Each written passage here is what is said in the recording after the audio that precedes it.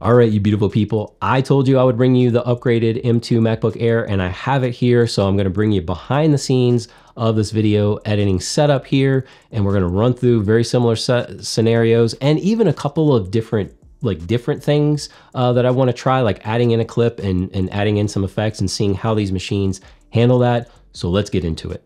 All right, we're playing this timeline. Base model on my right, upgraded version is the classic silver, 16 gigs of RAM, one terabyte of storage. We are on external SSDs, the same exact enclosure. I have tested these thoroughly. They do, as far as video editing, are the same as editing on the internal. So let's take a look and see what we are looking at here as far as the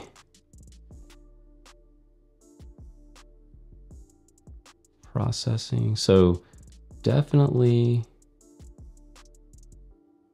no frames seem to be dropped. Yes, uh, I, I definitely had a little bit of a blip here on the upgraded version when I was trying to get to iStat.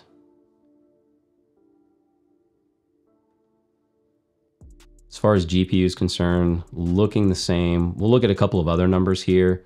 Um, Final Cut Pro is processing at about 68 to 70% on the upgraded versus on the base model. Interesting. So let's take a look at some memory pressure here. Oh, we're already swapping on the base. So, and we have, so 33% memory pressure on the 16 gigs of RAM, 30, it's fluctuating in the 30s. On the right here, it's fluctuating anywhere from 60s to as much as 80 I saw. And of course, swapping almost four gigs there and no swap on the 16 gigs of RAM, which we would expect. Final Cut Pro is utilizing about six gigs of RAM on six to eight. Of course, we're bumping up. That's the thing, as you're starting to play through, as it's getting through all of these um, the the effects and the LUTs and the color grading. You know, it's gonna it's gonna fluctuate, but so it's it's going anywhere from six to eight ish uh, gigs as far as the process is concerned. Same deal here. We're kind of in the mid sevens to mid eights on the pressure here on the base model. So as far as thermals are concerned, we are 40 mid 40s on the upgraded and mid 50s on the base model. So giving you a little bit of context there as far as efficiency cores, let me look at performance. Performance, same deal. So about a 10 degree difference just playing through. Let's uh, let's try to like scrub back, see what happens here. Oh, if I can grab it. Yeah, so you can actually see like, I mean, it's scrubbing. Hold on, let's see over here. Scrubbing through. So back and forward. All right, so let's add some footage here. This piece. I definitely know it's it's handheld. Now, of course, if I if I'm editing, I should have actually set up Ooh, look at that. So a little bit of beach ball action happened there as I'm trying to like grab. I should have set up my keyboard shortcuts, but it's it's terrible. So it's handheld. I wouldn't do a I wouldn't use that footage the way that it is. But let's get so we've got about a 10 second. Yeah, so roughly a 10 second clip on both. It's roughly the same clip. Let's just see what happens when we go into something like stabilization. So let's try that.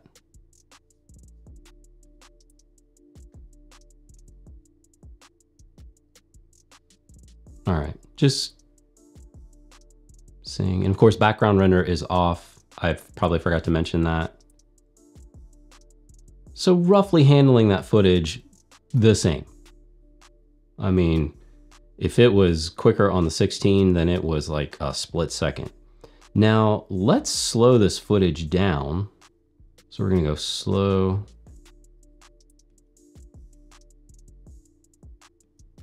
Okay, now what we're gonna do, let me just move this over here.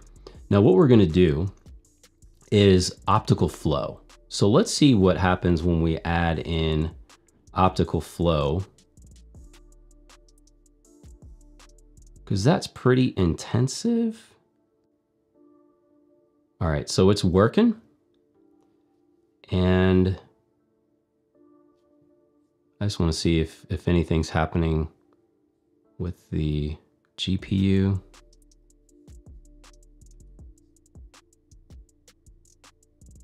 So the optical flow is working as far as the thermals are concerned, because we're, we're kind of, this is that short burst of a task or a demand, and they are almost, so 50, like, no, I mean, really the same. 54, 52, 54, 55 on the same. And as far as GPU is concerned, holding up as far as the frames per second, the same 60% uh, pressure on the process of Final Cut Pro, that is. And as far as memory pressure, let's look. 24% on the 16 gigs of RAM, 43 on the base, and swapping one out of two gigs. Oh, we started to swap a little bit, 244 megs on here. Um, Final Cut's using about four gigs and yeah, roughly the same, four and a half, almost five. And as far as the time it is to be finished, again, thermals,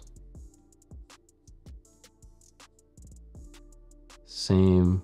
Oh, so the 16 gigs did finish a, a, couple seconds, a couple seconds. Again, these clips are probably not perfectly lined up as far as the exact uh, footage, but it, it's still about a 10 second clip and we really didn't see anything as far as the thermals. So going back and just playing through this again, scrubbing through, oh, little beach ball on the 16 gig. Oh, and it's like, you get that like, what are we doing here, fella? All right, there we go. Might have been my bad, I'm not sure. User error, maybe it was the machine. That stabilization is terrible. Looks like jello. Let's add, here, let's add an effect. We'll just do something, I think I have something from Pixel Films that I can just add uh, one of these jammies here that I use. So we'll do this one. And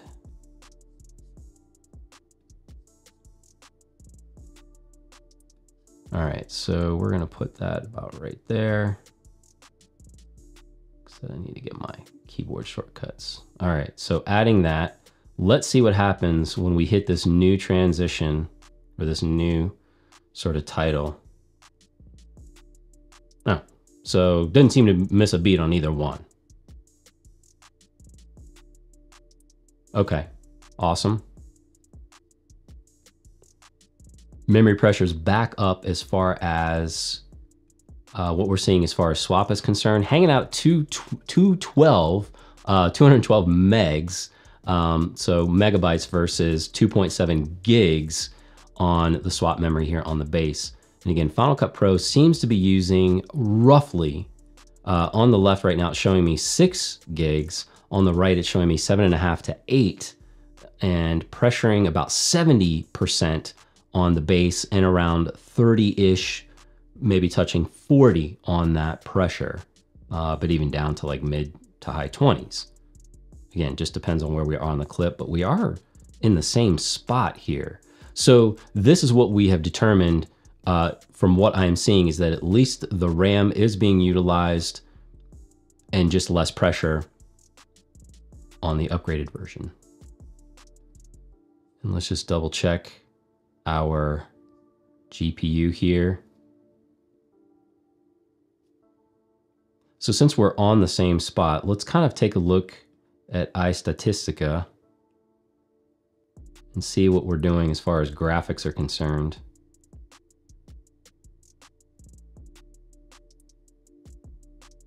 I just want to see, yeah, see, it's really hard because when you have these bursts, so like 83% on the base model, 78 on the upgraded version, it, well, there we go. We hit 100 on the upgraded version. And as far as the memory, roughly the same as far as what. So free 5.86 and free 4.37.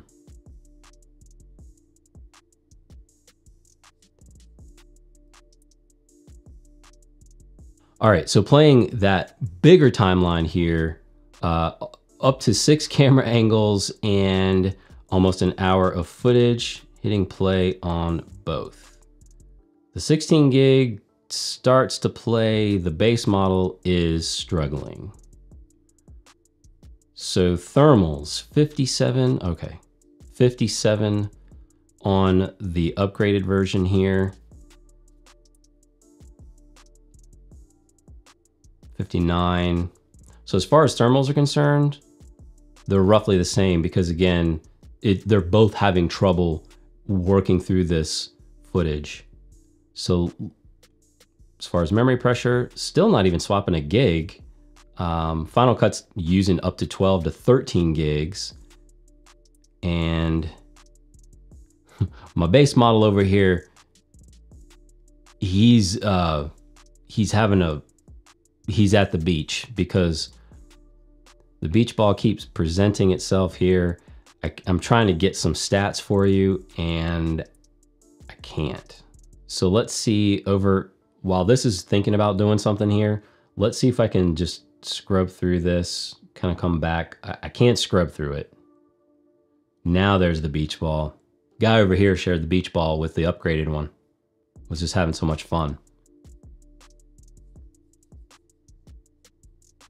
Kind of locking up on the base.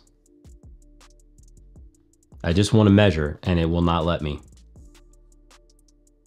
It's trying to play the footage though. Video frames were dropped during playback. That's obvious. Okay, that is, that is, we've got to, we got to get out of here. This up to six uh, camera angles and uh, almost an hour long it's a problem for both of them. All right, I had to force quit Final Cut Pro on both machines just to kind of get the ball rolling here. So now we have that 8K footage uh, that is transcoded and we should be playing back in 422 or at least be working with 422. Now we are in best, uh, best quality.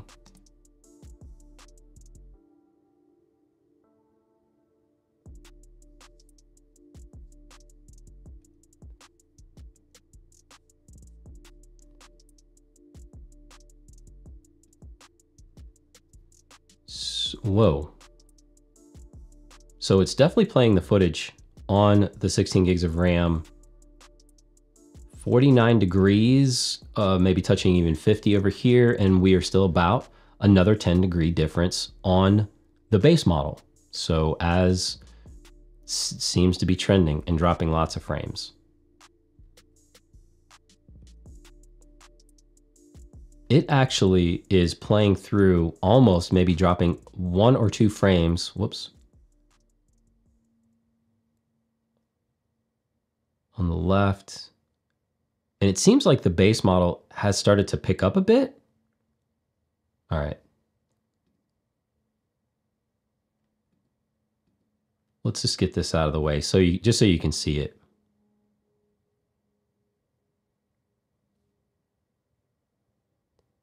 They both seem to be equitable as far as the frames being dropped and sort of playing through. Now let's go to better performance. If I can even get to better performance, just to see if that makes a difference here. Yes, frames were dropped during playback. You are correct. So does better performance make it and the one reason I I just don't particularly like to work in better performance is uh, sometimes you know that footage can get a little soft, and you really want to see it as it is, like how you're editing it.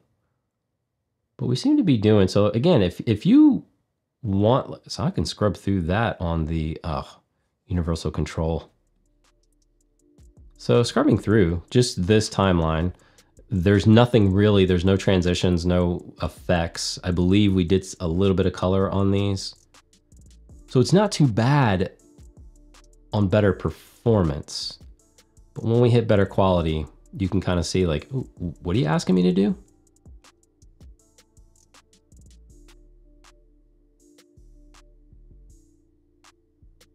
So then we start to, to drop a few frames. But as far as those thermals are concerned, still 59 and now roughly the same. Because again, I think that it's only able to read and write so quickly. The GPU is only able, I mean, we are working with ProRes, although we did jump. But then we came back. So it looks like we're, we're jumping intermittently. So we do seem to be roughly the same on both machines as far as thermals are concerned on this particular timeline. Memory, let's take a look and see what our memory pressure is looking like. Whoa! Okay, so on, that's the interesting thing. Hold on, I gotta get to it first. So here's that, here is something with this footage or what I'm doing. So on the M1, that is upgraded to 16 gigs of RAM, this is where I have that like memory leak. So Final Cut is using 22 gigs. And so I'm I, am i am swapping almost 25 gigs on the upgraded version. And on the on the base, I'm up up to six, five and a half, six right now. There is definitely something going on with Final Cut or something uh, some kernel issue with these upgraded uh, machines. Because again, on the previous video on the M1, I was having the same issue and I still need to dive in on what is really happening there. But it's like Final Cut is using 25 right now. Silly. And only between 9 and 11, maybe up to, but roughly 10 on the base model machine. All right, quick summary here. First off, I love the machines, but knowing what I know, I have a hard time recommending them for primarily video editing. We've chatted up in the comments, I've talked to a few of you, and I think it could work for some of you. But if this is something that you are doing primarily, I would be concerned. I truly would. Knowing what I know with the M1 Mac Mini, the, the M1 Max, MacBook Pro, and of course the Studio, I know what those machines are capable of and they handle video editing with no problems. So working in iMovie, Final Cut Pro, and Resolve, that'll certainly help you with Apple Silicon. That's just my advice. Premiere, I have those on PCs. They work great on the PC in that x86 architecture. Not so much, at least for me, on Apple Silicon. When we moved up to that more complicated timeline from four to six, roughly between four and six different camera angles, adding in more LUTs, grading, transitions, forget it. Neither machine could handle that. And then even pivoting over to that 8K ProRes, transcoded to ProRes, we could move through it. It was playing it. Um, it seemed to be that the, the upgraded 16 gigs of RAM was handling it slightly better, just maybe a slight edge, but I think really it's, it, it was so subjective, I think. Um, and then, of course, knocking that down from better quality to better performance certainly can help your workflow. However, you're also making a sacrifice. I think when you're doing better performance, you're working in proxies, you're not seeing the footage as you want to see it, and so that to me is just a straight up no. I am not going to sacrifice the way that I work uh, and sacrifice any time to to work to make it fit into this device. That is just me. I'm not sure if that makes sense. I, I, I don't know if this is helpful because you're gonna find so many people on the platform saying like, this could be my only uh, video editing machine. I would be fine running my entire channel with this machine and so be it. That's fine. Uh, but you should even ask Fenson of uh, Gadgetsu, uh, a, a, great human out there. He has used an M1 MacBook Air and he loves the machine for what it does for him as a student, but as a video creator, he like you can get some things done, but he has also struggled. He's been very vocal about it on Twitter, and I can certainly link him up. You can reach out to him and ask him what he thinks, at least from the M1 MacBook Air, uh, from that perspective. That being said, I really appreciate your time on this and I will have more videos out, more day-to-day -day use with these machines versus just all of this heavy creative stuff. You go out there and rock those faces, and I'll catch you right back here on the next one.